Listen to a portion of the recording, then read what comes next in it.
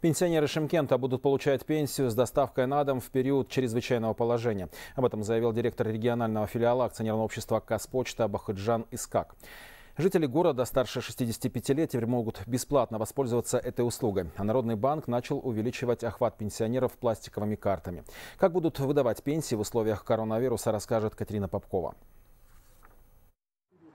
Возле отделений Народного банка в начале месяца еще никогда не было так пусто. Обычно в это время тысячи шимкенцев пожилого возраста спешат сюда за пенсией. Теперь тут пытаются избежать скопления людей.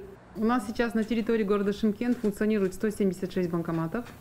Все они работают бесперебойно.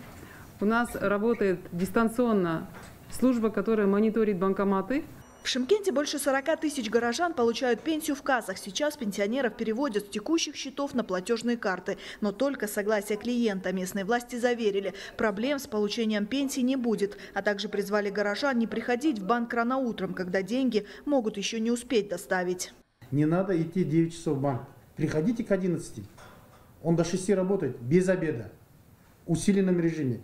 Любой банк придет, если там расположено 8 касс, все 8 касс будут работать. Национальный почтовый оператор Казпочта, также оказывающий услуги по выплате пенсий, сообщил, что пенсионеры могут получать пенсии на дому. Опыт такой доставки у сотрудников имеется.